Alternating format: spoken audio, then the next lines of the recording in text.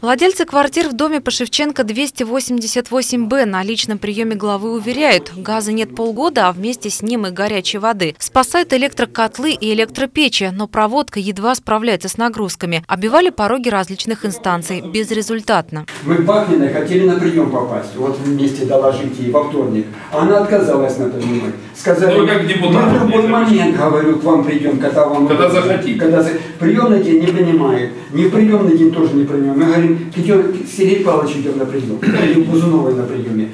К главному инженеру пошли. Бузунова обещала ей под Потапов, то есть помощник его, А что газ будет. так сказать. А он мне не докладывал. Главный инженер говорит, Дроздов говорит, а я ничего не знаю. Это, говорит, не совещание было, это, говорит, был прием по личным вопросам. Что дальше?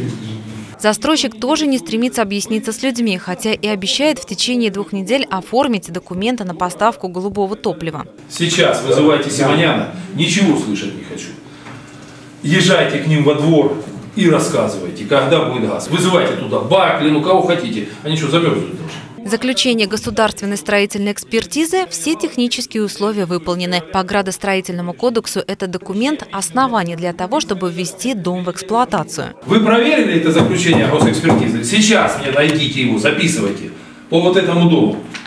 И справку о выполнении технических условий. Если таковых документов нет, Владимир Ильич, у меня вопрос, почему вы подписали? Если таковые документы есть, сейчас Костенко подключаете исковое заявление в суд, вот, и в э, прокуратуру, что в отношении нас совершены мошеннические действия. Запросите тот, кто вам написал с госэкспертизы.